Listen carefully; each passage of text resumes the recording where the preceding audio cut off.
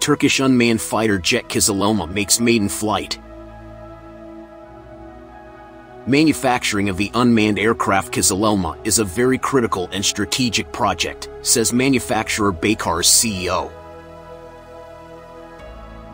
The first prototype of Bayraktar Kizilelma, National Unmanned Combat Aerial Vehicle System, MIUS, developed by Baykar Technologies, has finally flown, the Chief Technology Officer, CTO, Selçuk Bayraktar said. We could not keep it anymore on the ground. It flew. Thanks to our Lord, Bayraktar said on Twitter on Wednesday. Turkey's latest drone Kizilelma, Red Apple, will take the country's defense industry to new heights, according to its manufacturer Baykar. Kizilelma will ensure self-sufficiency.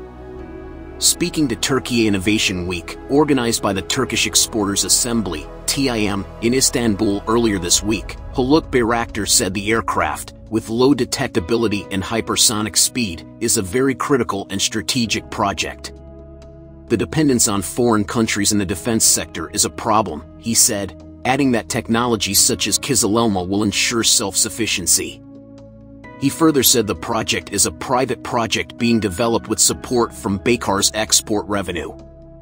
Kizilelma, the prototype was completed in May 2021, was originally set to make its maiden flight at the beginning of next year. The drone has aggressive maneuverability, with a flight time of 5 hours and an operational altitude of 35,000 feet. It has the ability to land and take off from ships with short runways like TCG Anadolu, an assault ship of the Turkish Navy.